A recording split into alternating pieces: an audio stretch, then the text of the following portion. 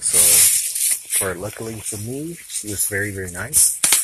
I think you actually forget, didn't even notice that this wasn't a book. I wasn't trying to do anything. This was for 99 cents. Yep. Didn't check the bottom. Yeah, I say it's decent enough. Still, 99 cents, not bad. Awesome. Till next time.